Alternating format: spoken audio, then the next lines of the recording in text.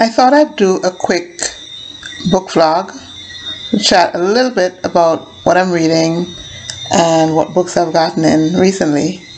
Um, I don't buy a lot of books. Um, I haven't been for a couple of years because I'm trying to get through my actual books that I already have in my possession. And of course, uh, as a book blogger and reviewer, books come into me all the time. Well, not all the time, but they come into me a fair amount, so it keeps piling up instead of going down. But if I hit a mark, like a benchmark, then I get to treat myself to a new book. And I did that recently. And um, I got The Festival of San Joaquin by Zee Edgell. Zee Edgell is a Belizean writer who died very recently. I've been fortunate to meet Zee Edgell um, when she came to Antigua for a literary festival, and she was such a warm, calming spirit. And um, I should have read her before now. She's most known for her book Beka Lamb, but um, I'm glad that I'm reading this one because it's really. Uh, her style is so hypnotic and her character is so her main character is so vibrant and so nuanced and so I mean she's somewhat of an unreliable narrator it seems to be at this point because she even she's not sure of what's real and what's dream and all of that there's a section where she says um, during the time I was in prison it became difficult for me to distinguish memory from dreams from fantasy Oh, I just, just moments like that. Just, I love the reading of it so far. I only recently started reading it.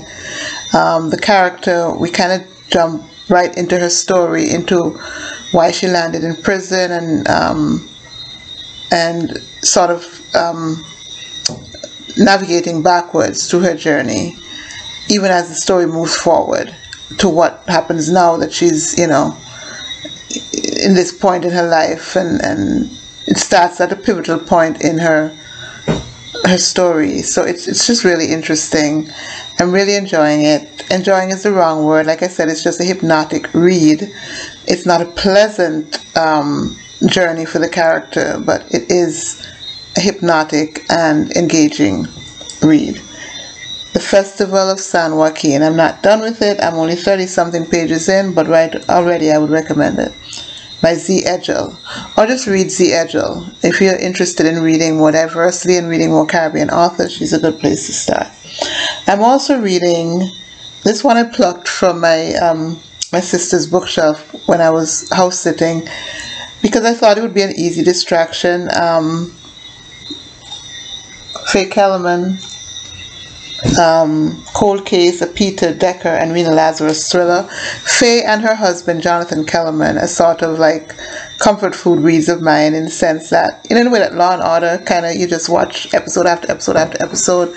It's similarly a crime procedural um, with characters that become familiar to you, and so it's almost like checking in with them. Um, in, in Faye's case, Peter Decker and his wife, Rina Lazarus, and their daughter, now Cindy.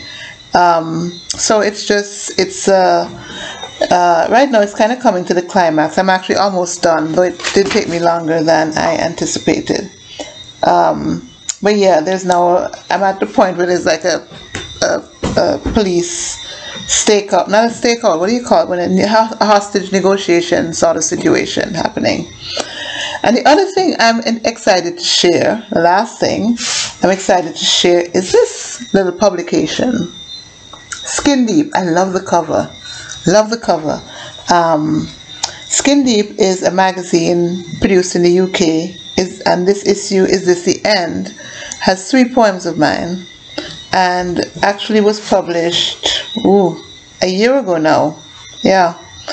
Um, given that we're living in COVID times, it's taken me this long to get it through a combination of, you know, um, the the post office can be inefficient and, and unreliable in the best of times, and COVID has not assisted with that. But I finally got it. Um, It was kind of a hassle actually to get it, even when when it was you know when I did go to get it. But you know what? Focusing on the positive, I got Skin Deep. I'm so excited to read it cover to cover to discover all these writers, and I will just share. Why not? Yeah, I'll end by sharing a little bit of my writing in Skin Deep. I'm excited about this because I don't write, I don't have a lot of confidence in terms of my poetry um, because I think of myself as a fiction writer, but I have published some poetry and they accepted three of my poems for publication. Which one should I read? Grandmother and Child, Weather Patterns, Waste Not. I guess I'll read the shortest one. the shortest one is Weather Patterns, and it goes The wind is restless. It stirs up the trees, the rain slices into the day, sudden and angry. She is soaked and shivering by the time she's finished bringing the clothes in. Weather Patterns. So that's a little bit of my poetry in Skin Deep. Uh, thanks for tuning into this little uh, book vlog just to catch up on what's going on with my reading. I am Jhohadli, Joanne C. Hillhouse, writer from Antigua and Barbuda. You can, um, I'll put links in the comments in terms of where else you can find me around the interwebs, but till then, bye.